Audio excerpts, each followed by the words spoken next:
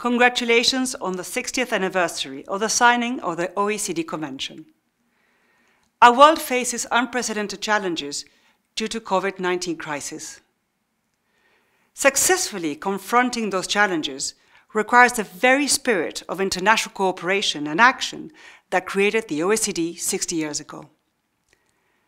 During that time, the OECD has effectively engaged with stakeholders, consistently bringing rigorous evidence and analytical support to better equip decision makers on a range of development issues.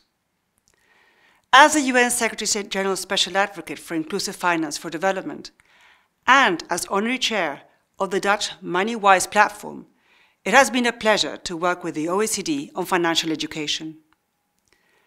The creation of the OECD International Network on Financial Education and the inclusion of financial literacy in the Programme for International Student Assessment have rightly put financial education center stage.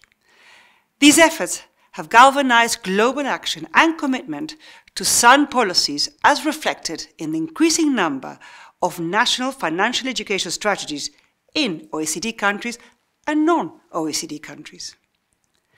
There's also clearer evidence of effective practices.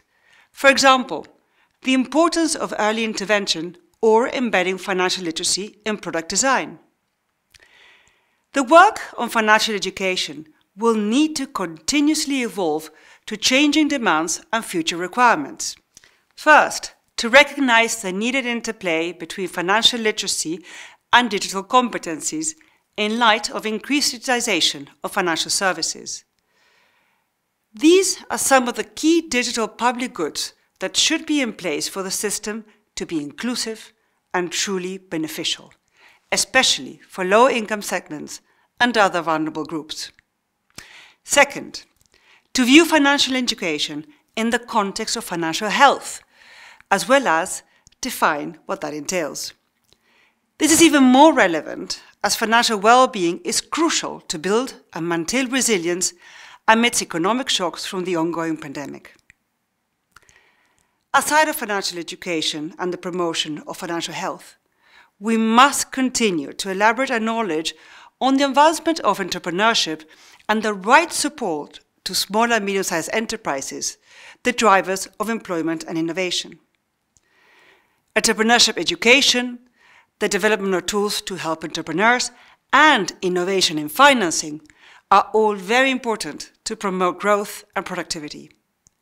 These are all essential tasks we have to undertake if we want to enjoy growth that is shared by all. Once again, congratulations to the OECD on this important milestone.